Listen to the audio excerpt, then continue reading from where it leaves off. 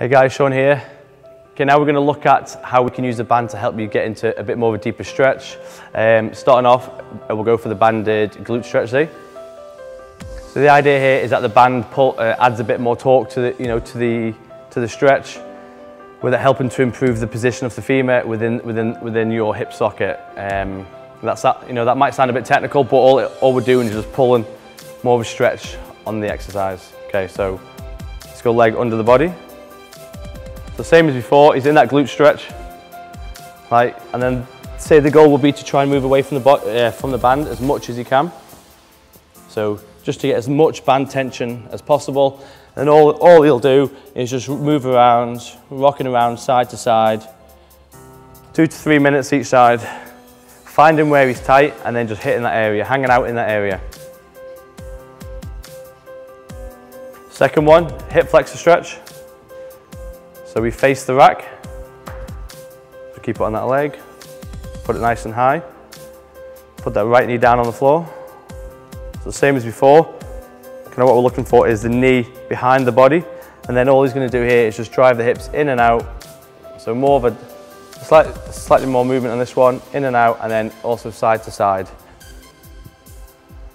So again, two to three minutes on each side, finding where he's tight, work into those areas.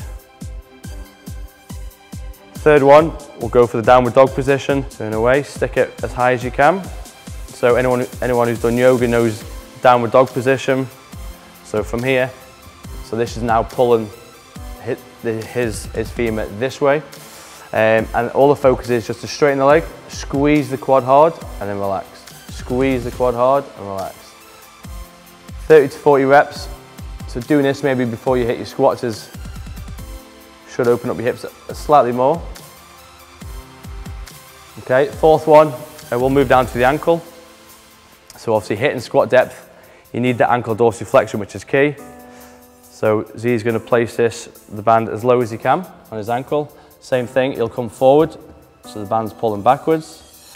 Then all we're looking for is for his knee to track forward as far as possible with, with keeping his heel on the ground. So you can get into a squat position, right down. So when he's down there, just moving his legs side to side. That's it. Again, depends on how supple you are. You can go into the pistol position. So this will just be straightening one leg, so then he's getting more load. Just hanging out down there, again, two to three minutes.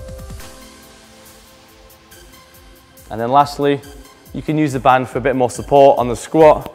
So we'll just put this band a little bit higher again. We'll stick it around your hips. So stick it just above your pelvis walk back, and then we're just going to squat down and hold. So drive the knees out, and then all you're going to do is stay down there, five, six minutes, just kind of relaxing into the movement. He can then kind of push his knees out side to side to feel where he needs to work on. Perfect. Nice, see?